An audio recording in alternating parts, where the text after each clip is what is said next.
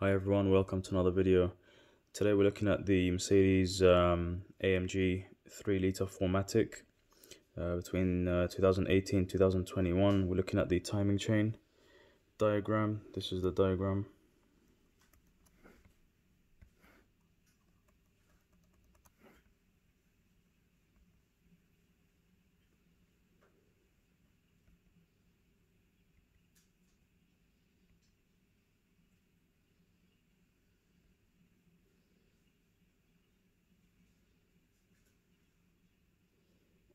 Just zoom out and show you a better um, better image.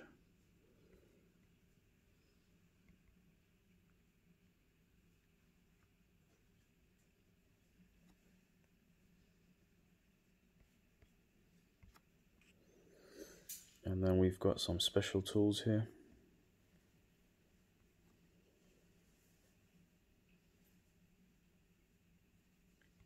And then some general precautions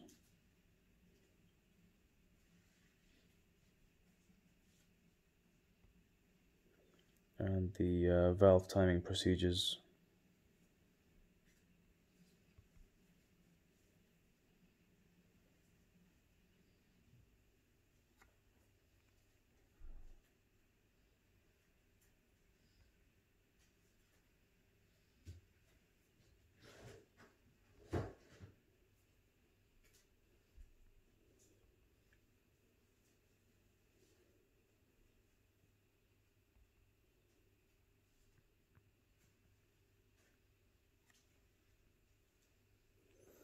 Thank you for watching. Please don't forget to subscribe, um, like the video, and comment any questions you have below. Thank you. Bye bye.